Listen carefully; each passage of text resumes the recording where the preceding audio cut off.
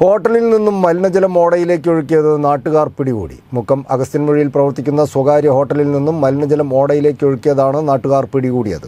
അഗസ്ത്യൻമൊഴി അങ്ങാടിയിൽ അസഹ്യമായ ദുർഗന്ധമുണ്ടായതോടെ നാട്ടുകാർ നടത്തിയ പരിശോധനയിലാണ് മലിനജലം ഓടയിലേക്ക് ഒഴുക്കുന്നത് കണ്ടെത്തിയത്. മുക്കം അഗസ്ത്യൻമൊഴിയിലെ സ്വകാര്യ ഹോട്ടലിൽ നിന്ന് മലിനജലം ഓടയിലേക്ക് ഒഴുക്കിയതാണ് നാട്ടുകാർ പിടികൂടിയത്. അഗസ്ത്യൻമൊഴി അങ്ങാടിയിൽ അസഹ്യമായ ദുർഗന്ധം വമിച്ചതോടെ നാട്ടുകാർ നടത്തിയ പരിശോധനയ്ക്കൊടുവിലാണ് ഹോട്ടലിൽ നിന്നും മലിനജലം എടവണ്ണ കൊയിലാണ്ടി സംസ്ഥാന പാതയോരത്തെ ഓടയിലേക്ക് ഒഴുക്കുന്നതായി കണ്ടെത്തിയത്. തുടർന്ന് നാട്ടുകാർ നഗരസഭ ആരോഗ്യ വിഭാഗം ഉദ്യോഗസ്ഥരെ വിവരമറിയിക്കുകയും ഉദ്യോഗസ്ഥർ സ്ഥലത്തെത്തി നടത്തിയ പരിശോധനയിൽ മലിനജലം ഹോട്ടലിലെ മാലിന്യ ടാങ്കിൽ നിന്നും പൈപ്പിട്ട് ഓടയിലേക്ക് ഒഴുക്കുന്നതായി സ്ഥിരീകരിക്കുകയും ചെയ്യുകയായിരുന്നു.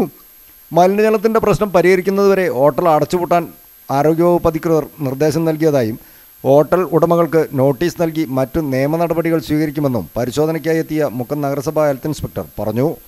ഡ്രെയിനേജിലേക്ക് മലിനജലം ഒഴുക്കി വിടുന്ന ഒരു പരാതി ആളുകൾ പൊതുജനങ്ങൾ വിളിച്ച് പറഞ്ഞതിന്റെ അടിസ്ഥാനത്തിൽ പരിശോധന നടത്തിയിട്ടുണ്ട്. എന്തായാലും കുറച്ച് മുമ്പേ ഇവർ പുറത്തേക്ക് മലിനജലം ഒഴുക്കി വിട്ടായിട്ട് കാണാനുണ്ട്.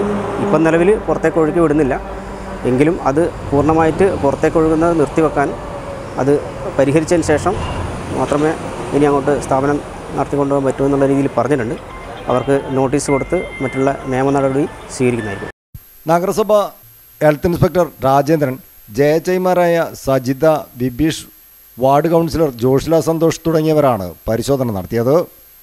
News bureau Mukkam.